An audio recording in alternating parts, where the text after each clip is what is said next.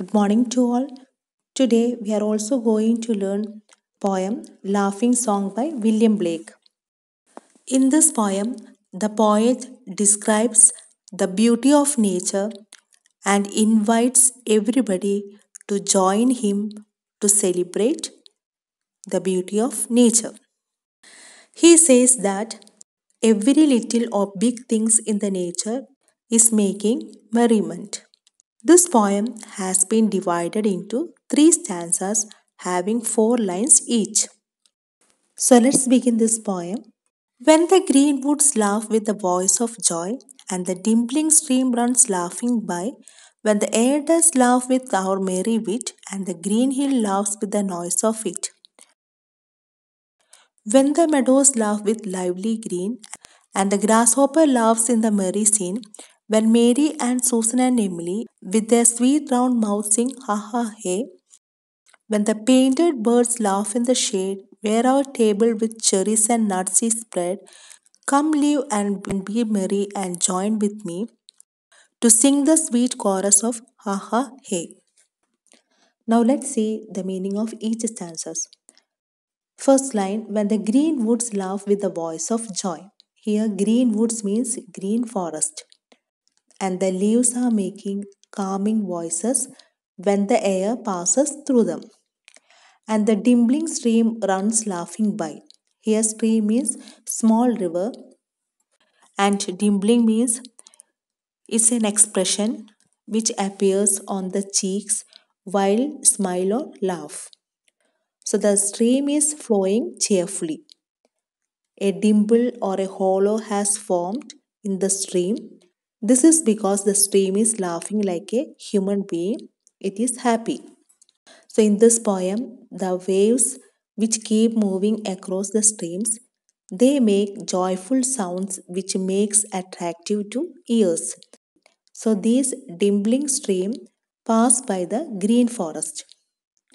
Next line, when the air does laugh with our merry wit, and the green hill laughs with the noise of it. During the summertime, the air makes sounds while crossing the rivers and forest. The poet says that the air is also laughing with them.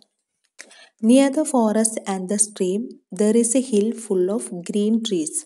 The hills are also covered with greenery so when the merry-making air strikes it, the hill also seems to be laughing. Next stanza, when the meadows laugh with lively green, and the grasshopper laughs in the merry scene. Meadows means the grounds with green grass and very less plants. So they are also laughing because of their green color.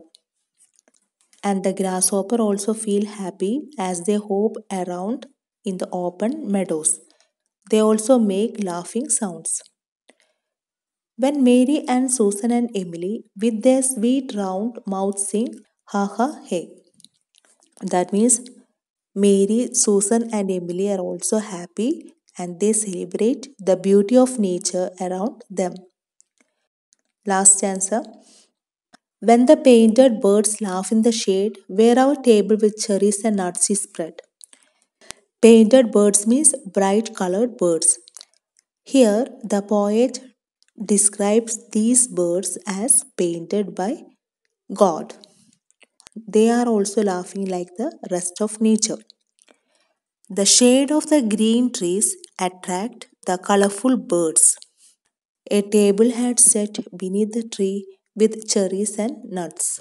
Come live and be merry and join with me to sing the sweet chorus of Ha Ha Hey. Here, the poet invites everybody to join him for a feast. Feast means a huge, delicious meal served at a party. He says that the beauty of the spring season calls for some celebration.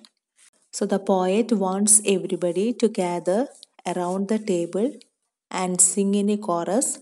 Chorus means a group singing together. The rest of the nature is already singing.